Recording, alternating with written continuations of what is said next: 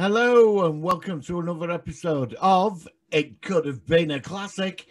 And on today's show, we're going to be talking about 1998's Ultraviolet. So I'll see you in a minute and roll intro.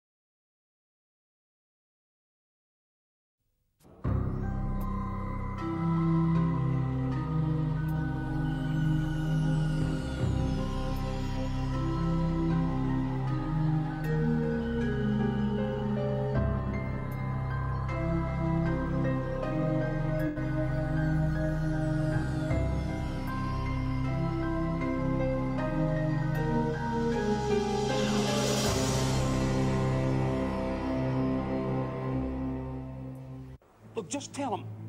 The man in the photos. Just tell Yeah, well, him. we did get your negatives back. They're full of empty streets and there's no one in them. What's all that about? May I introduce Detective Inspector Angie March and Detective Sergeant Vaughan Rice? Someone is trying to kill me. Whatever he's telling you, he's not being straight with you. They're a death squad, Mike.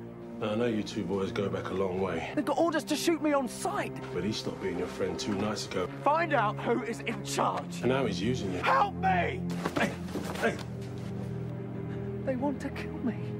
You believe Jack is still your friend? Well, whatever he's done, he doesn't deserve a death sentence. I'm afraid that was carried out three nights ago, before you last met. Wooden ammo, Carbon. state of the art. But then so are we. Thank you.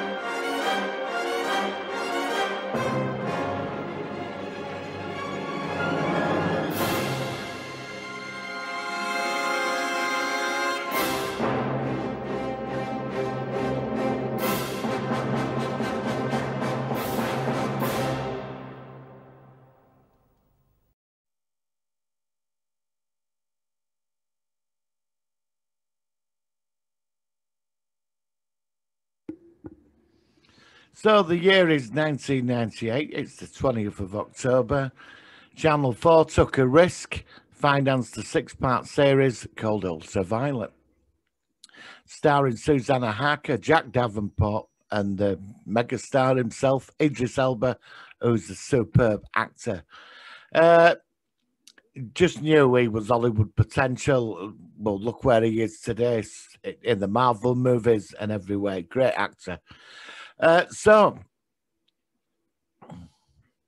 so it's 1998. It's the 20th of October. Channel 4 took a risk and financed a six part series, and uh, it was called Ultraviolet about a secret organization that hunts vampires. And there's a conspiracy going on, there's darkness in this, uh, this bleak sort of existence of these creatures and this organization that's financed by the government and the Vatican So let me just drag up some information on this. And uh, uh, starring Idris Elba, Susannah Harker, and Philip Quast and Jack Davenport. Synopsis. In the near future, global warming has caused vampires to come out of the shadows and attempt to retake the earth. So basically, it starts off with Jack Davenport's character. He's in a pub, he gets a phone call. This guy's saying somebody's after him and all this. And he's out with his partner, his detective partner, and uh, he's getting married the next day. So it's a big stag night. So when they get to wedding, this guy is dead who phoned him up. His mate don't turn up at the wedding. His missus, she's gutted and we sort of start from there. This guy's dead who was like on the phone trying to say he needed his help and he just fucked him off. And his partner's disappeared. And uh, these people turn up, and that's Idris Elba and Susannah Harker. And uh, he's like wondering who they are. And they seem to be ordering like the head, head of his department about. And uh, he gets suspicious and they question him and all this about his partner. And it comes out his partner's got a load of money in the bank. And his uh, bride to be, she's on him, saying, Look, what's going on? What do you mean he's corrupt? Because they all think he's a corrupt police officer. He's not, he's dead, he's a vampire. And his mate turns up, and there's a bit of a thing and he starts figuring it out that he said these people the killers and they're out to kill me and all this unwanted. But then evidence starts coming together. There's no film clips. You can't see them on video. They don't leave fingerprints and they can't speak down the phone. And they have to use uh, like a keyboard to use the phone uh, they're faster than what we are, stronger than what we are. Uh, they're none of the religious stuff. Well, there is sort of a faith thing in it that sort of touched on just a bit, but it's like it's down to them and us. They're the same as us, they're technologically just as advanced. They've been around for a long time. And he ends up getting into this world of these like creatures, these vampires. And they like they've got organized, like they've got money they don't turn everybody. They only choose certain people, and you've got to make the decision to become like them. They have weaknesses like sunlight. Uh, they get killed by carbon bullets, and you, I suppose you can stake them. But they use carbon bullets with these like scanners, like a video scanner, where you can see them. But standard uh, equipment, you can't see them. And uh, it, it, every episode is like a full story, but with the arc going on in the background. And you get you start finding out about the characters. All the characters have been affected by these creatures. Like Susannah Harker, she's this like scientist, hermatologist, and her husband was a genius. He got killed. I think with she's got twins, but the other child, the other child got turned as well. She thinks her husband's dead. Well, he's dead, but he. They have this vault that when they destroy a vampire, they get its ashes and put it in this vault because what you find out that they can regenerate and bring them back. So her husband's in there, and she and she she lost the other twin, so she's like in there as well, like their scientist. You've got a priest; he's got this dark sense of humor. Now, what's interesting with the priest? He's like in charge, he starts like because what happens is with these vampires, to find some leaders that are in these coffins, and these coffins are time locked. So when they travel around the world, they're in these coffins. And they end up catching one of the leaders. And he nearly breaks his faith in, you know, with his religion and that, which is sort of quite interesting and the player very good at mind games. They have a way of offering you what you want. There's certain humans that serve them. In a way, it, it, it's like Blade. You know, like with how the vampires were organized and all that, and they were in the government, into the banks, and sort of quite similar to that. But it, this is, goes off a bit more different because all the characters have been affected by like their lives by these creatures have all got bite marks and this. And when the vampires feed on you as well, you don't know that they're feeding on you because they don't drain you. They take a bit at a time. So they have certain humans who they go and feed on, but they don't take everything. They're very manipulative and very uh, sort of like pretend to be your friend. And and you know the, the, this program actually brings a case out for them where you do start sympathise with them because they have a right to exist. They bring that across, which is fascinating but obviously they're not. They are evil, you know. And uh, uh, Jack Davenport's character gets more into it. His friend turns. He ends up killing his friend, and he gets put in the vault where all the ashes are of these like vampires. But when they catch one of the leaders or one of these like, like scientist ones, he starts like messing with the like priest said about his faith. He said, "Oh, we created it, you know, like because they can live forever." And he he's got cancer, and he's sort of like sort of taking this sort of point that uh, you, you know he started to question himself and you get right into that now there's different stories with like different events now they're not running around jumping over walls like buffy or like that they're, they're really quiet they move quietly and they're not out with the fangs and blood all over you don't really see that but when they do appear, like there's a scene where in Jack Davenport in his house, uh, this female one who got crippled, she was a human, and this vampire turned her. She turns up in his front room, and Idris Elba, and that is really freaky. She just stood there in a medical gown, talking to him. Now, the vampires have an agenda. They want to get into this organization to destroy it. And there is like the cases that they're saying that they're a death squad killing their, them off. But they've got their own agenda because what they're trying to do is create synthetic blood and they want to cause the nuclear winter. So, like 12 months, they'll be able to get out and slaughter everybody and take the planet for themselves. And this is where it's all going over the six episodes. And each episode is, uh, you're really hooked into it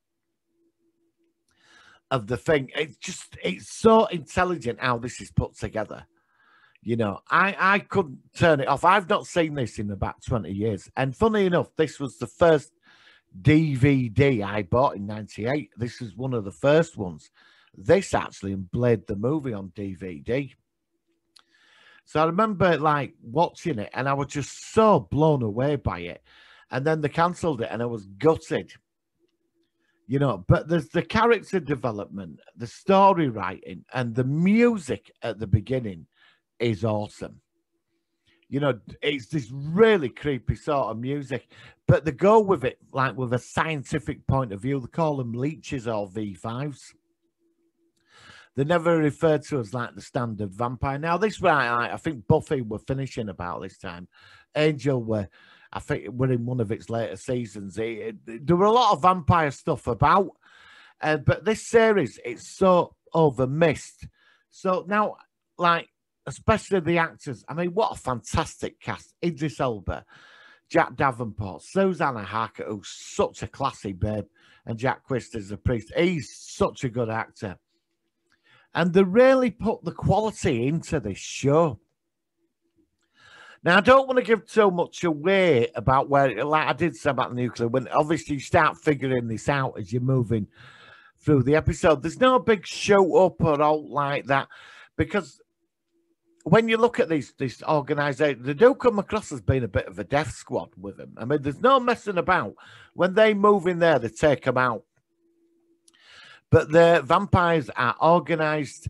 There's a great saying when Priest reveals it all to Jack Davenport's character. He says, "He says our free range days are over. They don't like our potential, our like our capability of destruction."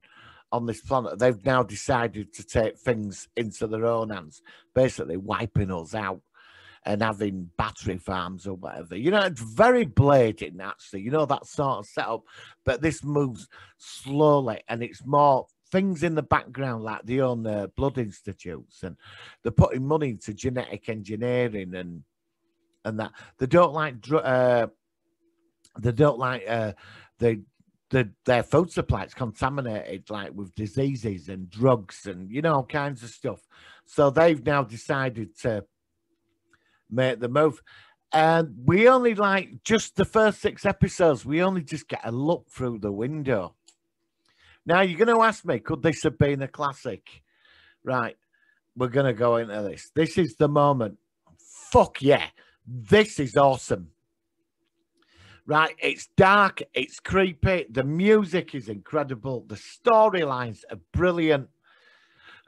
It's the speed of how it moves there's so much going on in here now. Now, as we covered on, could have been classic. It's a what if scenario. What if we got season two? Season two is is it a global thing or is it just focused in the UK? Obviously, I assume it's a global thing right across the world because obviously there'll be vampires in other countries. So is this organisation? They're based in London under a church in like this bunker that is the one in America or Russia or China or France or Germany? Is it a global organization because it's financed by the Vatican? You know, and, and they do give the vampires this side of their existence that they've got a right to exist, you know. And it's not like the, the if they just bite people, you don't become a vampire. It's like you've got to make that choice. So this is what they keep saying about crossing over and when you actually get to meet these vampires, they're, they're just like, well, they're like creepy sort of people. They're quite, they're really manipulative, you know. But is there a council? Is there a leadership behind that? Now, the do caps, capture one, this very important one. And the priest, when he starts losing his faith and it starts coming out, she, the scientist woman, because they want her husband, they want him to be regenerated. They, now, the question is, they don't now they regenerate themselves and they find out in the final episode about the full regeneration. They want her husband because he's a genius, but obviously he's in the vault as ashes. They want to regenerate him, and they're using Jack Davenport's character to manipulate these series of events. And there is a big sort of scene at the end with one vampire of a hostage demanding the bring her husband and Jack Davenport's character. It all comes out a different way. And I don't want to spoil like the twist at the ending, but season two to this would have been excellent if the writing would have stayed the same and it moved. Because you got a potential for five seasons there. You know, this could have been Channel 4's big cult hit. You know, they wasted so much when they did not pursue this series. You know, season two, you could have speeded it up a bit you know, expanded upon the lore of it, started building a Bible around it, and just turning this into something absolutely amazing. We'd have got to see more of the vampires. I mean, it, the story potential in this is unlimited, and it's all building down to some big event in season five. Such a waste. Now, now is Ultraviolet. I've said it already, but is could it have been a classic? If this had got a season two, three, and four, and five, fuck yeah. And it annoys me that sometimes that when they make something amazing, like especially and this is British, it is so British. Is this? That's what I love about British creativity and science fiction and horror. We we we do it so differently to like the mainstream, and this is so out there that it's just awesome. So it's got to be this is this one's got through. It's not a problem. You know, please check this out. Now, luckily, the entire series is on YouTube. Right now, this is where there's an extra caveat now. There is a pilot episode. The Americans, uh, I think it was NBC, got hold of it and they made a pilot episode and Idris Elba's in it. And the pilot episode, like they took bits out of like the series, you know, like took bits out of it. And it's shit. It is absolutely terrible. And it is on YouTube. Just type in ultraviolet American pilot episode. Uh, Idris Elba said about it. He said it was such a shame that it, it, it could have been good, but they they didn't get it right. He's it's when you watch it, it's just totally different. Now, I don't know if it is connected or what, you know, but they took like certain bits out of some of the main episodes and created this pilot episode, and it was stupid. I've watched it. I, I, don't get me wrong. I enjoyed watching it, like you know, just to get a bit more. But the British one is the best. I mean, you can't. If this has been made in any other country, I do not know. I have researched in this. I've only come across that pilot episode. But Ultraviolet, there's so much. It's got so much in this series. Such a shame. Wasted a massive opportunity, which is bloody annoying. Sometimes you get this one thing that has the potential to become something so more, and then they screw it up. And you know, they kept it really simple. That was the beauty of it. They kept it so grounded in our world, you know.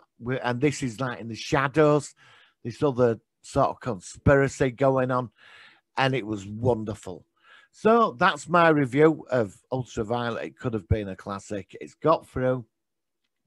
And I will see you next week on next week's episode.